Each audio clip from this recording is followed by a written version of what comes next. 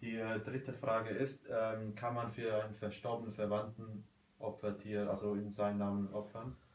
Also es gibt ein Hadith, was auch Sheikh Al-Bani rahimahullah authentisch gestuft hat, am Tag der Opferfesttag, Yom al-Eid, der erste Tag, zweite und dritte Tag. Bei Allah gibt es keine bessere Tat, als Opfertier zu schlachten.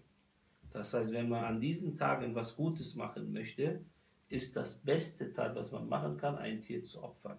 Und genauso Opfertiere für die Verstorbenen in ihren Namen zu schlachten und zu spenden und das Essen an die Bedürftigen zu verteilen, ist erlaubte Taten, darf man machen. Das heißt, man schlachtet für sich selber und man sagt auch hier für meinen verstorbenen Vater, Mutter, Bruder, Tante und so weiter, kann man zusätzlich schlachten lassen am Opferfesttag, dass das dann auch die Belohnung für diese Gestorbenen ankommen soll. Denn der Prophet sagt, bevor das Blut des Tiers den Boden berührt, ist es schon bei Allah angekommen. Das heißt, diese Belohnung und diese Zufriedenheit von Allah die Aufnahme in Allahs Barmherzigkeit, ist schon erreicht worden.